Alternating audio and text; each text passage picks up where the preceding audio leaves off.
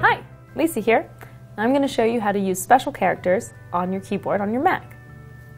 So right now, I have a note open, and I want to write that I need to meet my friend at a cafe.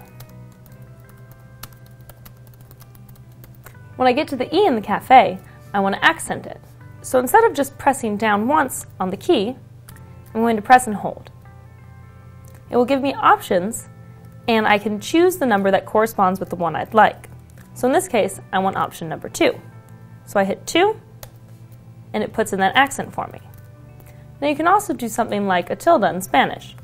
So if I want to write mañana, I write M-A, and then I hold down the N, I can choose the one with the tilde, and then I can finish off the word. So there you go. That's how you use special characters on your keyboard on your Mac.